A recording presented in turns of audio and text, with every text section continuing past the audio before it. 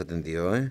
Eh, lo primero que quiero preguntarte antes de ir de lleno al tema de la paritaria municipal es, bueno, un concepto, lo que sucedió ayer allí en el SOERM con la visita de los diputados nacionales. Ajá. Que ustedes Sí. estuvieron participando, por supuesto, como integrantes de la mesa sindical. Sí, nosotros este, como integrantes de la mesa, aparte como sindicato, vamos a apoyar a, a los compañeros que hoy están pasando por un muy, muy mal momento, eh, viviendo una incertidumbre, porque, bueno, muchos ya saben el destino, que son los que ya le han cerrado las plantas y han quedado sin trabajo, que eso es lamentable no solamente para ellos, sino para toda la sociedad baraderense, ¿no? Ajá. y todavía tenemos el riesgo de que se produzcan algunos despidos más, también con amenazas de cierre, en caso de no de no aceptar, o, entonces este es lógico que los sindicatos se pronuncien en contra de, ese- de esa forma de ajuste, ¿no? Eh, ¿Cómo viste la participación de los diputados? Digo, ¿los viste realmente comprometidos, que pueden llegar a, solucionar algo? Mira, esto es un bloque. Eh, se, se va a poder solucionar si hay otros bloques que, que, den, que estén de acuerdo y que en las cámaras eh, se vote en contra de toda esta este, este sistema perverso que, que estamos sufriendo los trabajadores, ¿no? Eh, si esto es un bloque, nosotros vamos a ir invitando a distintos bloques, eh, cada gremio si puede tener la, la posibilidad de, de tener conexiones con algunos otros diputados de otros bloques, invitarlos para ver el compromiso real, ahí se va a notar a ver quién es el que está eh, interesado en solucionar este, este- esta, esta problemática, que es bastante compleja. Eh, ¿Se decidió cortar el puente Zárate-Brazo Largo? ¿Esto es real?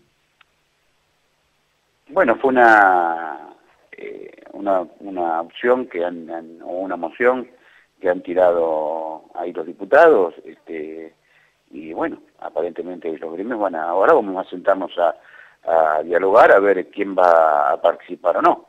¿Vos Eh, crees es que eso puede que llegar a ayudar en algo? Mirá, lo que va a ayudar es visibilizar, porque hay muchos medios, no todos los medios son como vos, que, que, que se interesa y llama a los trabajadores para ver qué está pasando. Hay muchos medios que están tapando la realidad. Entonces, este eh, es este imprescindible tratar de, de- de- visualizarse, ¿no? Están escuchando ustedes a Miguel Mossi, el secretario general de ATE, hablando con nosotros, resumiendo allí un poco lo que sucedió en el día de ayer en el SOARM. Pasamos ahora al otro tema que tiene obviamente que ver con la paritaria municipal y bueno, saber eh, finalmente cómo ha terminado todo esto. Eh, el ofrecimiento del Ejecutivo ha sido de el 26%. Eh, bueno, eh, por lo que tengo entendido... No, ustedes- no, no es el, el ofrecimiento del Ejecutivo. Ajá, Esto no es el, aparte tampoco es el 26. Eh, es un 14% sobre los básicos que hoy estamos cobrando ajá. y el, el primero de agosto se pasa a básico, el 14%, y se suma un 12% más. Te da un 27,68%. Ajá. ¿Mm? En el acuerdo no, no eh, como acuerdo solidario no dice 26. Pero después te voy a mandar una copia. Dice el 14 más el 12. Pero no te da 27, 27 eso. Sí, hacer multiplicación. Agarra 10.000, como como un sueldo básico promedio, Ajá. agarra 10.000, sumale el 14%, a lo que te da el 14%, sumale el 12% más. ¿Y a cuánto se elevaría un básico, por ejemplo? Y de 10.000 se elevaría, te, da- te daría, lo que yo te estoy diciendo, te daría eh, 12.768 pesos. Siempre tomando en cuenta la mayor categoría, ¿no? No, no, eso es para el básico de cada uno. Yo te hice 10.000 un básico promedio, porque hay gente que cobra 8.000 y hay gente que cobra 12.000. Ajá. Te hizo, te hizo un básico promedio, no Ajá. es la mayor categoría eso. Ajá. Eh, Miguel, y era esto lo que ustedes... Está bien que lo aclares a eso, porque digo, en la última vez que habíamos hablado, siempre mencionábamos a el mayor importe que tenía la mayor categoría del sueldo municipal, ¿no? Porque, digo, este, recordarás que el análisis que hacíamos era de Mm. un sueldo básico de 6.000, 7.000 pesos que tienen todavía algunos trabajadores municipales. Sí, 6.000 pesos creo que ya no quedan, tendría que tener el escalafón acá en mi mano para ver este quién quedó tan rezagado. Puede ser que lo tengan como eh, contratados, porque ¿qué pasa? Eh, en Acá tengo, en 30 horas, sí. a veces el básico actualizado. Sí, en 30 horas semanales, 30 y 35, que eso también es un reclamo que estamos haciendo, eh, tenés el categoría número uno, que es la categoría de contratado, que usa para contratado. Todo lo que está en planta eh, arranca en categoría número dos. eh, categoría número uno, eh, 6.734 pesos. ¿Mm? Eso ya es un personal, contratado, que también es muy bajo. Ese, ese de 30 horas semanales. Después el de 48 horas semanales está en 8.800, casi 9.000 pesos. ¿Ese también es contratado? Contratado. Te estoy diciendo los contratados en este momento. ¿Eh? Eh, eh, el personal de planta permanente de, de las 48 horas semanales está en 11.148 pesos. Y el de, te estoy diciendo punta y punta, tanto de un lado y del otro. Y el de 30 a 35 horas semanales está en 9.551 pesos el personal de planta. ¿Y era esto lo que... son los mínimos. ¿Y era esto lo que ustedes, eh, digamos, me pretendían? Porque yo recuerdo con vos la cifra era mucho más elevada, la del aumento. No, no, nosotros teníamos un pedido superior, pero vos tenés que comprender que nosotros arrancamos, cuando nosotros hicimos ese pedido, eh, nosotros hicimos un 35% como para solo de este año. Sí. Y el otro gremio ha hecho un 42%. Eh, pero cuando nosotros fuimos con esa propuesta o ese pedido, el, el, gobierno comunal eh, arrancó como el gobierno eh, eh, provincial. el ofrecimiento era un 18%. Después ofrecieron en, la discusión, llegamos al primero al, 19, después al 20 y después llegó un ofrecimiento de un 23 hasta que logramos sacar el, el, el famoso 26 acumulativo que es el 14 más el 12. Miguel, ¿y qué pasa con la, famosa cláusula gatillo que ustedes también reclamaban? Eso es lo que tenemos que terminar de redondear, la cláusula gatillo. Hay distintos eh, criterios para, su aplicación. Eh, a ver, la cláusula gatillo se tendría que emplear en el momento que la inflación supere eh, lo, obtenido. Para eso hay que hacer un cálculo, hay que dividir el porcentaje en el año, esto es de abril a abril, y habría que ver eh, cuánto nos da. Ahora, ¿cómo lo aplicamos? ¿Lo aplicamos mes a mes? ¿Lo aplicamos trimestralmente? ¿Lo aplicamos cuando trasladamos la, la, eh, la plata básico? Eh, en, esa, en esa cuestión estamos, es decir, es una cuestión un poco fina que hay que resolver entre el contador y el abogado eh, para, para poder sacar eh, algo que no perjudique y que quede aclarado que el, el 2768 es el piso. Para abajo nada, para arriba sí, ¿me entendés? Eh, ahora, ¿por qué el sindicato municipal ha rechazado este aumento? Y acá estoy leyendo, por ejemplo, el título de hoy de la opinión es denunciaron presiones. No sé, presiones de quién. Bueno, es lo que manifiesta el, artículo que publica, eh, te repito, el, semanario La Auténtica Opinión, donde dice el sindicato municipal rechazó un aumento y denunciaron presiones. En asamblea los afiliados del SOEM reiteraron su pedido para cerrar en un 30%, en un 42% como pretendieron inicialmente en la discusión paritaria. Y en la nota que mm, le hicieron a, eh, a José Montero, que en un rato lo vamos a, tratar de, poder hablar con él. Eh, él dice, nos ofrecieron un 27%, hicimos una asamblea con todos los afiliados y la postura nuestra sigue en un 30%. Eso fue el viernes y ese mismo día se lo comunicamos al Ejecutivo, pero resultó que en vez de recibir como respuesta otra posibilidad, nos intimidaron ya que ahora nos prohíben que tengamos asambleas en horarios de trabajo.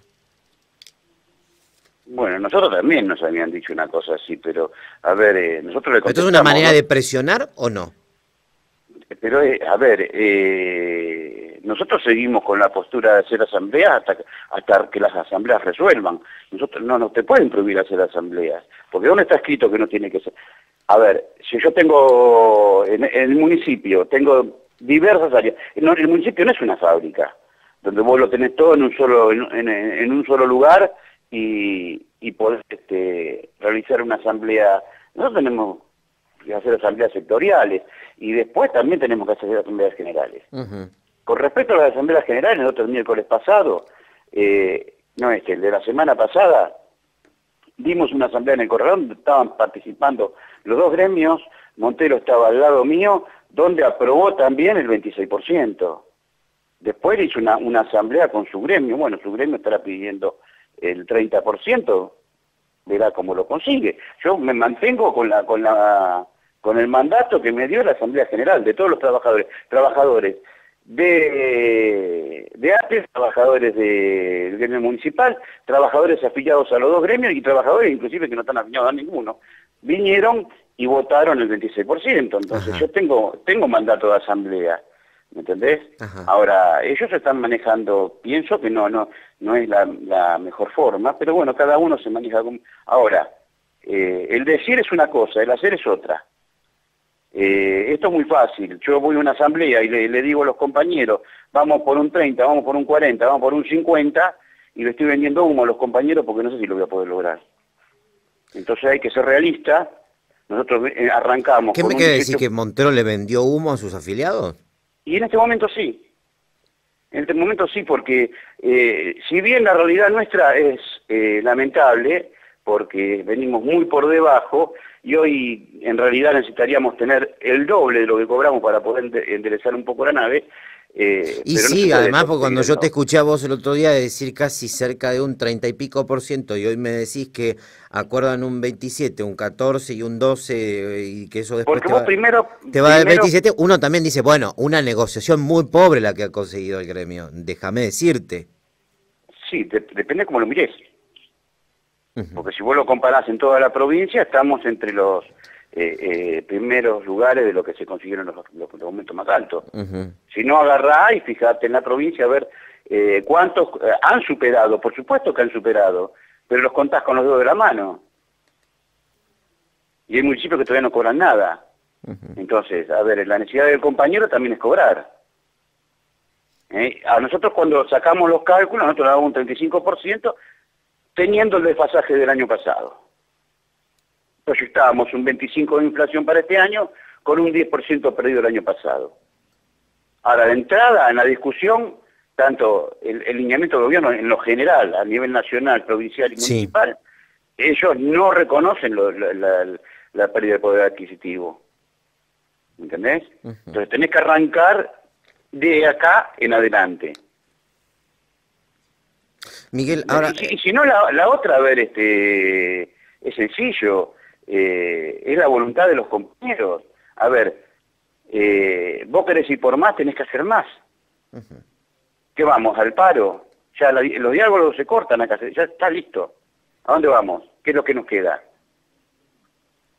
Ahora, si vos no tenés voluntad, pero no tenés voluntad porque los compañeros aceptan lo que está, lo que están, lo que está en la negociación no es que no no hace no no no no no van por más porque están con tanto miedo que no quieren ir por más.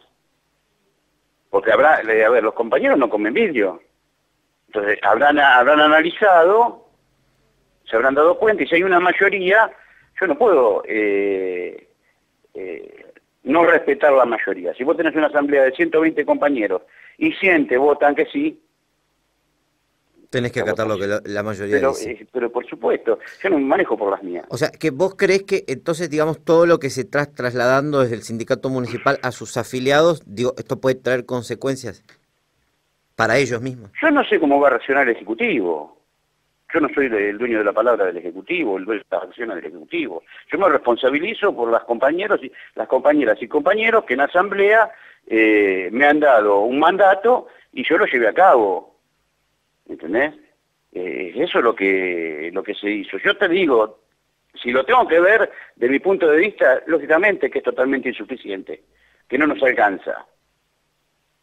¿Entendés? Pero eh, desde donde se arrancó hasta donde se llegó, hay un 10% que se le sacó de más. Es decir, si lo tenemos que mirar de ese lado, se le torció el brazo al gobierno. ¿Me entendés? Es decir, el gobierno no se llevó lo que eh, vino a buscar. Aparte, no es solamente un simple porcentaje que es lo que se discutió acá. Están las plantas permanentes, están las recategorizaciones, están los nombramientos por concurso, porque nos están apareciendo gente que no conocemos con cargo de, de, jefaturas que corresponden a la carrera del municipal. Entonces hay muchas cosas para discutir. El 1% del año que viene por el concepto de antigüedad también está sentado. Es, es, es un acuerdo que tiene alrededor de 12 puntos. ¿Me entendés? Eh, no es que se fue y se discutió solamente, se discutió un paquete de cosas. Miguel, eh, lo último para preguntarte, digo, en esta posición del sindicato municipal, ¿cómo hacen para homologar finalmente este acuerdo? Ustedes entre el Ejecutivo y, digo, y hacerlo ante el Ministerio de Trabajo, teniendo en cuenta que ellos de alguna manera no han aceptado este aumento que sí ustedes han acordado si ellos no quieren firmar el acuerdo, ese es el problema de ellos. Nosotros firmamos porque tenemos un mandato de asamblea, te lo voy a repetir. Yo anduve por todas las áreas el día de ayer y, otro día también, pero por el día de ayer anduve hasta en el Palacio Municipal, donde eh, no tenemos prácticamente afiliados, donde nadie, al contrario, eh, me dijeron que estaba bien. Entonces, este, nosotros somos representativos acá en el, en el, en el municipio, todavía mantenemos la mayoría, eh, tenemos personalidad gremial eh, debidamente acreditada, este, podemos firmar. Te dejo un saludo, gracias por habernos atendido. No, gracias.